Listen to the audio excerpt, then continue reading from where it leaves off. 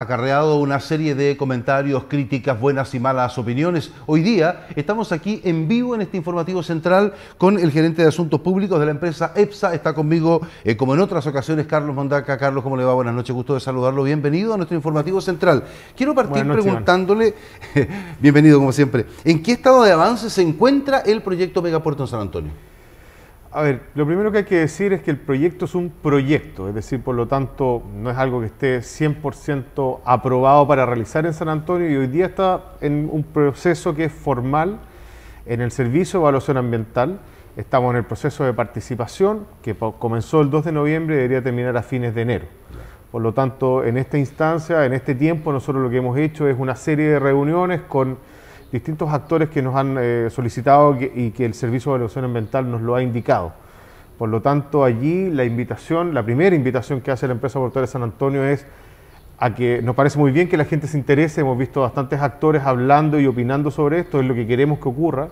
A mayor cantidad de información que el proyecto tenga, más nutridas van a ser las observaciones y por lo tanto el resultado final del proyecto va a ser un mejor proyecto, que es lo que nosotros queremos para San Antonio.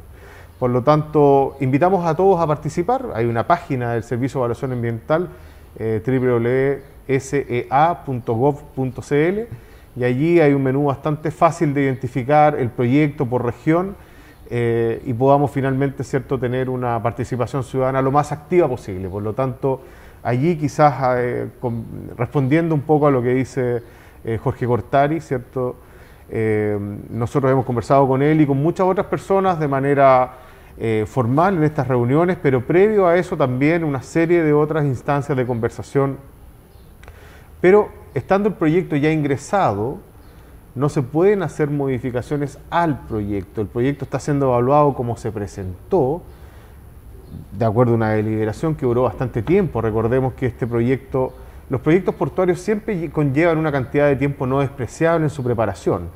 Y durante toda esa preparación sí hemos tenido la oportunidad de eh, retroalimentarnos de lo que nos dice la propia ciudad, pero también de lo que nosotros observamos en ella como, actores dentro de, esta, ¿cierto?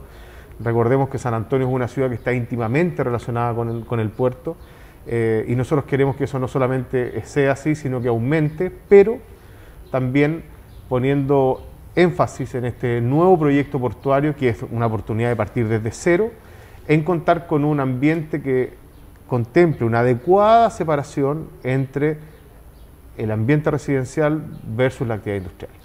Ahora, respecto justamente de este desarrollo de estudio de impacto ambiental, la empresa no puede hacer nada hasta que esto esté concluido, hasta que concluya esta etapa, ¿eso me quiere decir? Exacto, o sea, lo que yo les quiero decir es que esto, primero, este es un proyecto el más grande que se ha visto en San Antonio, eh, y en eso quizás es bueno hacer un poco de historia, Ivana, o sea, aquí han habido instancias donde hemos estado muy cerca de obtener algo que hemos perdido eh, en la década de los 80, ¿cierto? La, la casi instalación de la fábrica eh, de calzados Bata, que finalmente termina, ¿cierto? En Melipilla. Desplazándose a la región metropolitana Melipilla, llevándose una fuente de trabajo importante a Melipilla.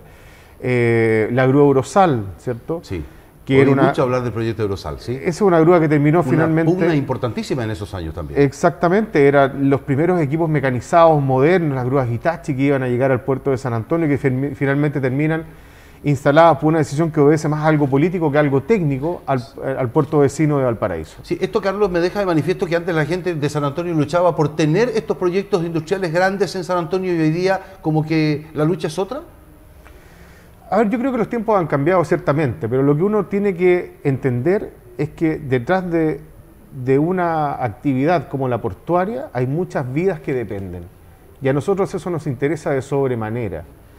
Solamente en el interior del recinto portuario hay 2.000 trabajadores portuarios. En el exterior de ellos hay 2.000 trabajadores de, agencias de aduana, otros 1.000 y fracción transportistas. Y solo para hablar comillas de la línea logística directa. No estamos hablando ni de, los, ah, de las personas que trabajan en fiscalizaciones varias, en los depósitos extraportuarios y en una serie de otras actividades que están concatenadas, que están relacionadas directamente con el puerto. Obviamente este San Antonio no es el San Antonio de los años 80 y lo que nosotros estamos planteando aquí es un proyecto que sea absolutamente complementario entre la realidad de la ciudad y la realidad del puerto. Recordemos que además de lo que está pasando al interior del terminal, al interior del puerto, nosotros lo que estamos buscando es un, puerto adicional, es decir, otra fuente de trabajo, otro lugar donde se pueda ordenar de mejor manera eh, lo que tenemos. Ahora, tal como, como mencionaste al principio, este proyecto no está garantizado para San Antonio. Es un proyecto que está en un sistema, y lo dice muy bien la palabra, servicio de evaluación ambiental nosotros presentamos nuestro estudio declarando lo que nosotros estimamos que el puerto va a generar y lo que estamos haciendo hoy día es la invitación a que la gente participe y nutra ese estudio con todas sus observaciones para que cuando nosotros tengamos que responder, eventualmente el proyecto sea mucho mejor que lo que entró. Ahora, cuando una vez que concluya toda esta etapa, ¿cómo va a enfrentar la empresa portuaria San Antonio las decisiones que se tomen en torno justamente al estudio, a las conclusiones del estudio de impacto ambiental? A ver, eso es eh, súper relevante porque la gente a veces primero cree que el proyecto ya está asegurado en San Antonio, cosa que no es así. La empresa portuaria San Antonio hizo un proyecto sólido del cual espera, ¿cierto?, que se quede en San Antonio.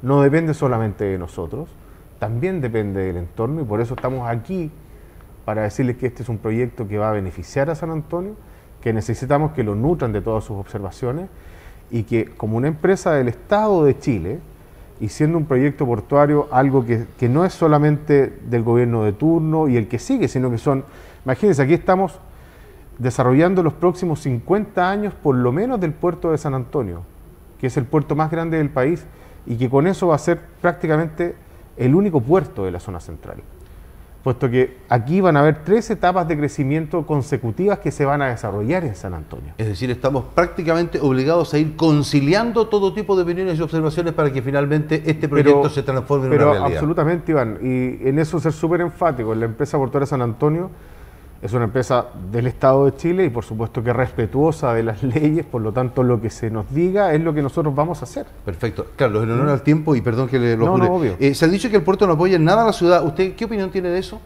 Ya me hablaba hace un poco rato de los empleos, de los miles de empleos y todo lo demás. Bueno, eh, queda ahí la pregunta. Ya, solamente para hablar de empleos, eh, en un mes normal, el puerto de San Antonio aporta solamente a los trabajadores portuarios alrededor de 600 millones de pesos en sueldos. Perfecto que son los, que son los ingresos que dan vuelta, ¿cierto?, por, por, la comuna, por supuesto.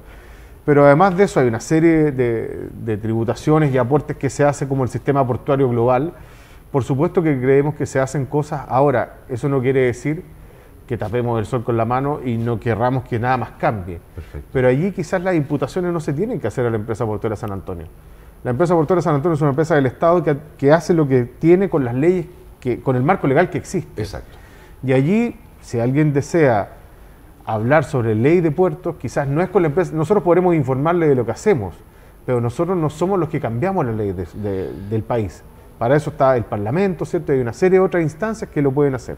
Y lo último, si el Estado está atravesando hoy día por una crisis financiera tan, tan marcada que se queda manifiesto con el retiro del 10% y esta vez con el segundo retiro que partió justamente hoy día, ¿cómo aspira a gastar 3.500 millones de dólares en la construcción de este megapuerto? Es que no lo gasta la empresa portuaria San Antonio y no lo gasta el Estado, y eso es súper importante decirlo. Y vamos a dar un ejemplo de lo que pasó hace pocos años atrás. Cuando se licita Puerto Central, que hoy día es DP World San Antonio, no es el Estado el que construyó el muelle Costanera o equipó eh, lo que hoy día es DP World San Antonio con las grúas que cierto antes no existían, solamente en el horizonte se las grúas azules de STI. Eso, esos 480 millones de dólares que invirtió, los invirtió un privado.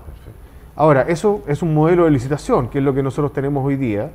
Si algún portuario está viendo esto, se recordará que el espigón estaba en una condición deteriorada, muy deteriorada en comparación con como está hoy día. No existía el muelle costanera, no existía el equipamiento que hay hoy día, ni los tractocamiones, ni las grúas STS, eh, y el trabajo era eventual, eh, era más precario en eso, en condiciones de trabajo.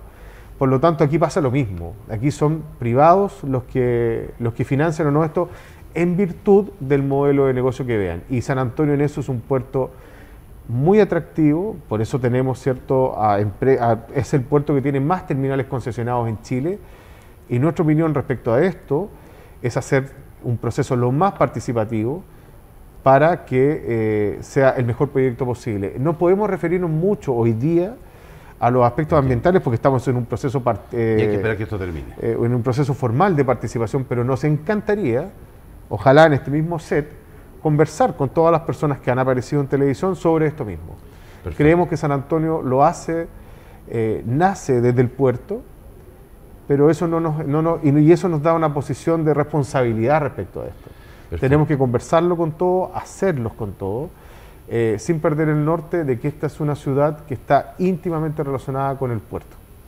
Bien, eh, Carlos Mondaca, gerente de Asuntos Públicos de EPSA, un millón de gracias por tomarse el tiempo de venir. Nos queda mucho más por conversar y en honor y en virtud del tiempo. No, muchas gracias a, ustedes, perdón. En alguna otra ocasión para que venga. Perdón haber ocupado tanto tiempo, no, no, no, pero es un tema importante para nosotros. Es, muy, es que es muy importante y por eso quisimos discutirlo con usted y vamos a seguir discutiéndolo en tiempo sucesivo. Gracias, por estar aquí, que tenga una buena jornada.